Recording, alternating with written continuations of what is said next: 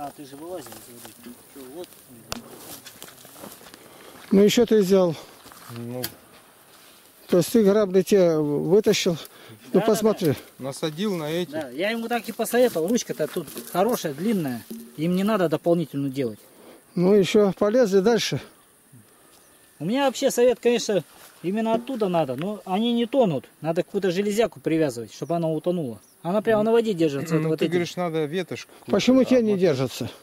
А те тяжелые. А я эту А те я прямо в воде опускал, а они не тонут даже нисколько. Вот за счет черенка.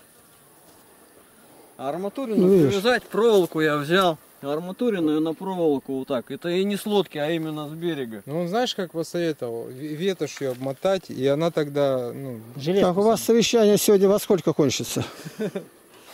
Когда вы работаете на ну, Когда работать-то будете? вы скажите слово свое, Игнатий. Я слово свое сказал. Делать, как говорится. Не Вы ушли от того места, вот где я указал, вон, ровно на 40 метров. 40 метров для такого пруда, это половина пруда ушли дальше.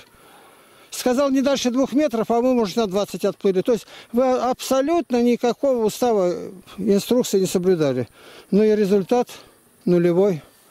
Так не любой, огромный минус. Идите ищите. Иначе на берегу тут и засохнете. Сама река не поможет вас размочить. Так. Давай. Хорошая грабля, давай испытай их туда, ныряй. Ну, железку-то, если что, придется привязать. Вы ищете грабли, а не лопату. Ну, хотя бы какую-то перчатку. На одном месте толкутся и все. Я же этот штырь-то вытащил, а проволока там. Давай